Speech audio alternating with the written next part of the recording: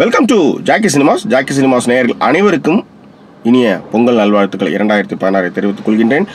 இந்த எபிசோடில் ரஜினி முருகன் திரைப்படத்தினுடைய வீடியோ விமர்சனத்தை பார்க்க போகிறோம் நிறைய பிரச்சனைகளை சந்தித்து வெகு நாட்களாக ரிலீஸ் தேதியில் வந்து ரொம்ப ப்ராப்ளம்லாம் சந்தித்த ஒரு திரைப்படம். இந்த பொங்கல் திருநாளில் வந்து இந்த திரைப்படம் வந்து திரையை முத்தமிட்டு இருக்கின்றது ரஜினி முருகன் திரைப்படத்தினுடைய கதை என்னன்னு பார்த்துடலாம். ரஜினி முருகன் வந்து சிவகார்த்திகேயன் அவருடைய காதலி வந்து கீர்த்தி சுரேஷ். ரஜினி முருகன் அதாவது சிவகார்த்திகனோட அப்பா தான் வந்து ஞானசம்பந்தம் அவர் வந்து பள்ளிக்கூடத்து வாதியார் அவங்க அம்மா வாதியார் தான். அவங்க தாத்தா தான் வந்து ராஜ்கிரண். என்னென்னா ஊர்லேயே ப புகழ்பெற்ற ஒரு குடும்பம். அந்த குடும்பத்துக்கு ஒரு சொந்த வீட்டை வந்து விற்கும் பொழுது நிறைய பிரச்சனைகளை வந்து சந்திக்கிறாங்க. அவங்க காதல்லையும் பிரச்சனை இருக்குது. ஸோ அதை வந்து ரஜினி முருகனான சிவகார்த்திகேயன் எப்படி வந்து தீர்த்து வச்சாரு? அவர் எப்படி லைஃப்பில் செட்டில் ஆனார் அப்படின்றது தான் ரஜினி முருகன் திரைப்படத்துடைய கதை. ரைட் சிவகார்த்திகேயன். ஃபண்டாஸ்டிக்காக இருக்கார். நிறைய இடங்களில் வந்து ரஜினியுடைய மேனர்ஸத்தை வந்து விஜய் ஃபாலோ பண்ணுற மாதிரி இவரும் ஃபாலோ பண்ணுறாரு அது ரசிக்கிற மாதிரி இருக்குது. சூரி. ரெண்டு பேருமான அந்த காம்பினேஷன் சிவகார்த்திகேயன் சூரி காம்பினேஷன் வந்து வருத்தப்படாத வாலிபர் சங்கத்தில் எப்படி வந்து ஹிட் அடிச்சதோ அதே மாதிரி இந்த படத்துலையும் ட்ரை பண்ணியிருக்காங்க பட் இருந்தாலும் நிறைய காட்சிகள் வந்து ஏற்கனவே பார்த்த ஒரு ஒரு ஃபீல் கொடுக்குது. இருந்தாலும் மிக்சர் தோணா மாதிரி அதாவது தயிர் வடையில் மிக்சர் தூவினா மாதிரி ஒரு காராபந்தி தூவினா மாதிரி அங்கங்கே வந்து ரசிக்கவும் வைக்கிது. அதில் வந்து மாற்றுக்கருத்து இல்லைன்னு சொல்ல முடியும். கீர்த்தி சுரேஷ் வந்து ஃபண்டாஸ்டிக்காக இருக்காங்க. அவங்க வந்து நிறைய படம் ஃபுல்லாக வந்து ஆஃப் சாரியில் வராங்க. ரொம்ப நல்லா இருக்காங்க ஹாட்டாக இருக்காங்க. அதே இப்போ மாதிரி ராஜ்கிரண்.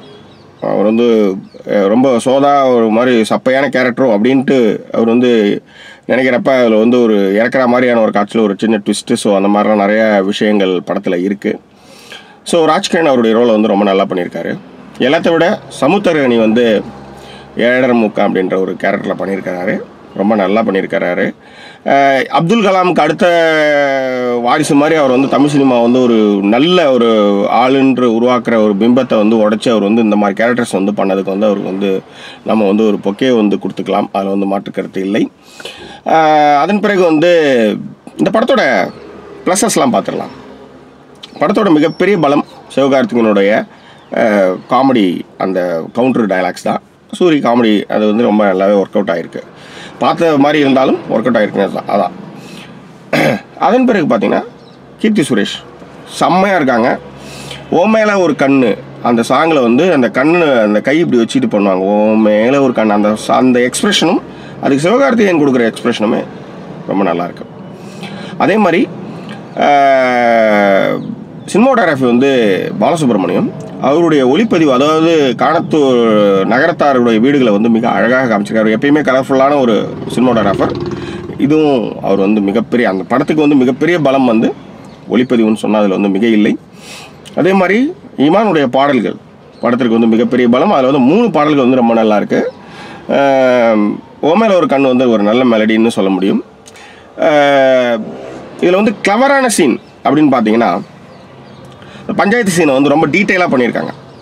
ஸோ அதுக்கு வந்து இயக்குனர் பொன்ராமுக்கு நம்முடைய வாழ்த்துக்களை தெரிவிச்சுக்கோம் அதுலேயே ரொம்ப கிளவரான சீன் பார்த்தீங்கன்னா அந்த கூத்தாடி குரூப்பை கூட்டின்னு வந்து இவங்க வந்து கழிவாதியார்னு சொன்ன சீனும் அதை வந்து உடைபடுற அந்த காட்சியும் வந்து ரொம்ப கிளவரான சீன் சொல்லுவேன். அப்புறம் படத்தில் வந்து நான் ரொம்ப சில இடங்களில் வந்து நான் வந்து ரசிக்கிறது வந்து இந்த துணை நடிகள்லாம் ஆடுறது வந்து எனக்கு பார்ப்பேன். ஏன்னா ஹீரோ ஹீரோயினை வந்து எவ்வளோ நாளும் பார்த்துக்கலாம். ஆனால் அந்த இவங்க வந்து பின்னாடி இருக்கிறவங்க நிறைய எக்ஸ்பிரஷன்லாம் கொடுத்து ஆடுவாங்க. ஸோ அதை பார்க்குறதுக்கே வந்து ஒரு மாதிரி ஜாலியாக இருக்கும். ஸோ அதில் வந்து இந்த என்னம்மா இப்படி பண்ணுறீங்களேம்மா சாங்லன்னு நினைக்கிறேன். ஒரு ஒரு லேடியை ஒரு ஹாஃப் சாரி போட்டுட்டு ஒரு ப்ளூ ஹாஃப் சாரி போட்டு ஒரு லேடி வந்து ரொம்ப எனர்ஜெட்டிக்காக ஆடுறாங்க. ரெண்டு மூணு ஃப்ரேமில் தான் வந்தாலும் கவனிக்கிற மாதிரி அவங்க வந்து அதில் வந்து பண்ணாங்க. அதில் வந்து மாற்றம் இல்லை. இந்த திரைப்படத்திற்கான எடிட்டர் வந்து விவேக் ஹர்ஷன். இந்த திரைப்படத்திற்கான எடிட்டிங் அவர் வந்து பண்ணியிருக்கிறாரு. Uh, அவருடைய வேலையை வந்து அவர் சிறப்பாகவே பண்ணியிருக்காருன்னு தான் சொல்ல முடியும். ஸோ இந்த படமே கலர்ஃபுல்லான படம்ன்றதுனால காஸ்டியூம்ஸ் வந்து அதே மாதிரி கலர்ஃபுல்லாகவே இருக்குது மிக முக்கியமாக ரஜினி முருகன்ட்ட கொஞ்சம் கிராமத்தான ஒரு ஆள் அப்படின்றதுனால வந்து கலர் கலரான பச்சை சிகப்பு மஞ்சள் அந்த மாதிரி சட்டைகள்லாம் கொடுத்துருக்காங்க. மிக முக்கியமாக பச்சை சட்டை வந்து கா சிவகார்த்திகேயனுக்கு வந்து ரொம்ப நல்லாவே கொஞ்சம் நல்லா பார்க்கறதுக்கு நல்லா இருக்குது காஸ்டியூம்ஸ் பார்த்தீங்கன்னா பொண்ணு அதாவது கீர்த்தி சுரேஷ்கான காஸ்டியூம் எல்லாமே சூப்பராக இருக்குது அந்த ஹோட்டலில் வந்து அவங்க ஒரு ரிசப்ஷனிஸ்ட்டாக வருவாங்க. அவங்க வந்து மேனேஜராக இருப்பாங்க. அவங்க ஹோட்டலில் ரூம் புக் பண்ணுறப்ப அவங்க அந்த அந்த காஸ்டியூம் வந்து இட்ஸ் ஆசம்னு சொல்ல முடியும். இந்த படத்தில் வந்து லாஜிக்கல் மிஸ்டேக் அப்படின்னு பார்த்தாலோ இல்லை மைனஸ்னு பார்த்தாலோ மொதல் சீனில் ஒரு ரெண்டு சீனுக்கு முன்னாடி வந்து இந்த ஃபேமிலி எனக்கு பிடிக்கல எனக்கு வந்து அவனோட பையனையும் எனக்கு பிடிக்கலன்னு சொன்ன ஒரு பொண்ணு வந்து திடுதுப்புன்னு அந்த குடும்பத்தையே அவமானப்படுத்தி அனுப்பின பொண்ணு வந்து அவங்க வீட்டில் அதாவது சிவகார்த்திகன் வீட்டில் ஒரு சடங்கு இந்த மாதிரி டக்குன்னு வந்து வெக்கஞ்சிக்க இல்லாமல் வந்து நிற்கிற மாதிரி வந்து தபாலும் வந்து இந்த வீட்டுக்கு வந்து ஸ்கூட்டி எடுத்துன்னு வந்து உள்ளார வர்றது வந்து நம்மளால் படம் பார்க்குற நம்மளால் வந்து ஏற்றுக்க முடியல. ஸோ இது மாதிரி நிறைய சின்ன சின்ன பிரச்சனைகள் இருந்தாலும் இந்த திரைப்படத்தை வந்து சுவைபடவே இயக்கியிருக்கிறார் இயக்குனர் ராம்னு சொல்லுவேன். ஆனால் இந்த திரைப்படம் வந்து ஏபிசி மூணு சென்டரில் இருக்கிற ஆடியன்ஸில் வந்து பிசி சென்டர்ஸ்க்கு வந்து இந்த படம் வந்து ரொம்ப பிடிக்கும். ஏன்னா வழக்கமான கதை தான் இருந்தாலும் கூட இதில் காதலும் அந்த காமெடியும் வந்து எழுவோடி வருது. ஊர் பக்கம் இருக்கிற அந்த பஞ்சாயத்து டீட்டெயில்ஸ் வந்து ரசிக்கும்படியாகவே இருக்குன்னு சொல்ல முடியும். ஸோ இந்த திரைப்படத்திற்கு ஜாக்கி சினிமாஸனுடைய மதிப்பு ஐந்துக்கு மூன்று. இந்த படத்தை வந்து இயக்குனர் பொன்ராம் வந்து வருத்தப்படாத வாலிபர் சங்கம் தன்னுடைய நகல் அது மாதிரி தான் எடுத்திருக்காரு. ஆனால் இதில் வந்து கொஞ்சம் கொஞ்சம் டீட்டெயிலாக அந்த பஞ்சாயத்து பிரச்சனை நகரத்தாருடைய வீடுகளை விற்கிறது இந்த மாதிரியான விஷயங்களையும் இதில் வந்து டீட்டெயிலாக பேசியிருக்கிறாரு.